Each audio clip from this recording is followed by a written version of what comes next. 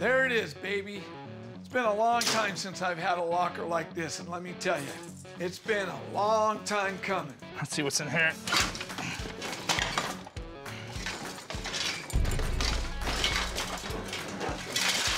All right.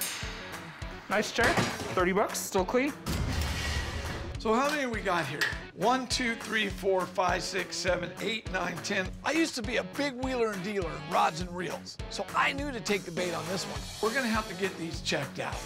But I can't wait to see what else is in this locker. One, two, three, four, five, six, five bucks a piece, another 30 bucks. Oh, a good one. Xbox 360. There's the controllers for the Xbox. With the video game system, the games, the phones, that's easily $150 box. I'm in the profit. Here's a nice little Panasonic bike with some graphite racing wheels. I'm sure that's an easy 300 bucks for that. Here we got another specialized, real lightweight. It's got the custom pedals and everything. Easy $500. Somebody was real serious about their bike riding. Something is floating around in here. Ooh. We got gold. That's a good clasp on it. That's a good sign. Usually the nicer the clasp, the better the piece. 10K. You know what? Without even weighing it, that's at least 400 bucks. Yeah, baby. When opportunity comes knocking, you better answer the door. Oh, special. This is a Daiwa. I really know reels. Definitely worth getting looked at right there. Look at this. This is for the, the big fisherman. Good, good, good stuff, man. Oh yeah, we got Daiwa. We've got a Newell. All the old-time fishermen love newels. And we got another Daiwa here. That's a nice box right there. Come on, this is like the best fun you can have for Petty. Here's another one. Never seen this one either.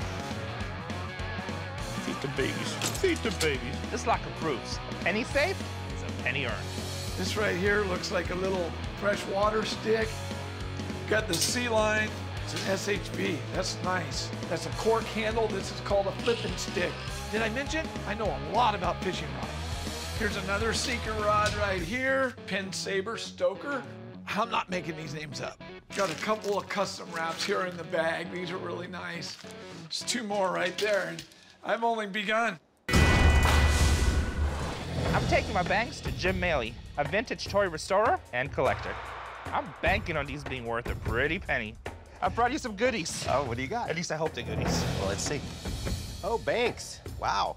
This is something different. These are nice, beautiful period mechanical banks. This is the uh, infamous Eagle and Eaglets. And these were made probably, gosh, 1890s, 1900, right around that time. It's all cast iron. And, you know, there's a lot of reproductions of these out That's there. That's my big worry. That's why I yeah. called. Now you've got this one. This is called um, Two Frogs. That was so much fun. Yeah, and it almost has a bronzy look. It's, it's a, this is a great classic bank. So you seem pretty excited, but what's the final verdict? Well, these, on close examination, they both appear to me to be original banks from the late 1800s. This Eagle and Eaglets, you should at least get about $1,200 for this one. Unbelievable. Yeah. That is so awesome. And the frogs are the better one? I, I really think you ought to get 1500 out of that one. I'm really, really impressed. Like you totally made my day. Yeah. I gotta go call my wife right now. I'm at the Long Beach Marina to meet an old friend, the host of Inside Sport Fishing with Dan Hernandez and creator of Dan's Kids Youth Foundation. Come on board, man. All right, Let's head out there. You ready? See the gems. We got one, two, three, four, five, six, seven, eight, nine, 10, 11, 12, 13 reels in here. This is great stuff. These are pricey. We're not even close to being done yet. Are you serious? see There's more? oh, man. I've got all these rods back here. If I remember right, this is a, a jig stick, isn't it? Yes, these rods were designed this way, so it didn't matter how tall a, guy was. You could adjust it anywhere you want. And just give you an example, grab that tip there a little bit, and you'd lean back and pull down a little bit, Wow. and that's how you would fight the tuna. Wow. Dan is used to having his throbbing rod pulled on. We've known each other a long time. So, Dan, how much is all this worth? The rods, The rods, the reels, everything. everything together, Quick sale. 12 grand. Woo! I'll take it, man. I- I'm having a get that all day religious experience, as in holy mackerel. What a catch. Darrell Sheets was the big fish reeling in over 12,000 clams. Little piggy Rene Nezhoda went wee wee wee all the way to the bank with $5,000.